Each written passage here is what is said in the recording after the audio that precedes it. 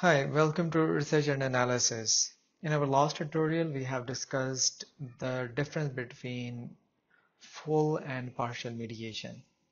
And in this tutorial, I will demonstrate you how you can interpret your results and how can you conclude whether there is a full mediation or the partial mediation. So this is the data we have.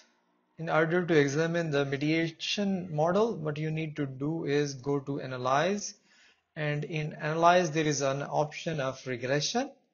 And in regression if you have process just click the process macro because it is more convenient to run mediation and you know even the moderation uh, in SPSS so you should have process being attached with your SPSS software. So just click as process. And from here you need to first select let's select your IV let here we have CSR EMP and then we have our DV OCBO and we are considering one mediator affective commitment AC and in order to run a simple mediation model we need to select model number 4 and from the options we can just click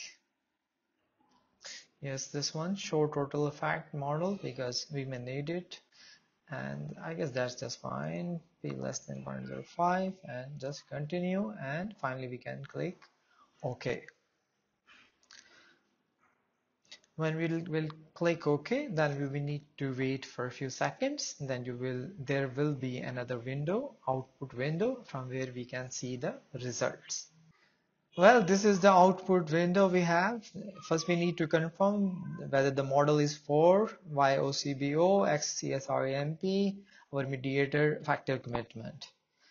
First of all, the impact of CSR in EMP, our impact of our IV on mediator affective commitment, you can see it is significant as p-value is less than 0.01 and also in the interval there is no zero.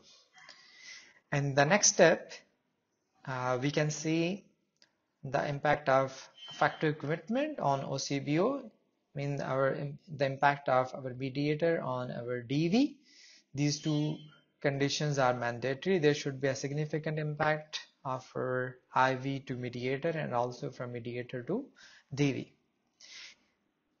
And then we will directly go to this step total direct and indirect effect. And from here you can see the total effect but we are more interested in direct and indirect effect. And from here we can actually conclude whether there is partial mediation or full mediation.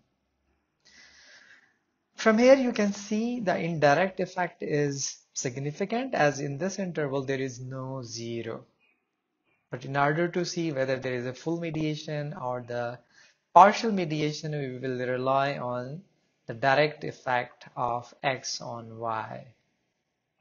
So you can see the effect is direct effect is significant. So it means if there is a mediation and also the direct effect is also significant then this means that there is a partial mediation Suppose if we have the results like this that the indirect effect is significant but the direct effect is insignificant then it means that we have full mediation. But in this case as we direct indirect effect is significant it means there is a mediation uh, but the direct effect of x on y it is also significant. So we will conclude based on these results that there is a partial mediation in this model.